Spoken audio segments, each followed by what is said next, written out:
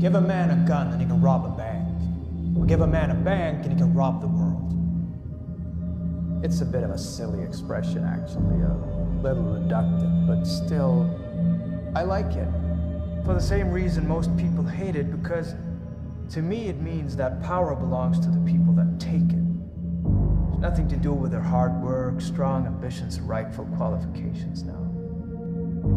The actual will to take is often the only thing that's necessary.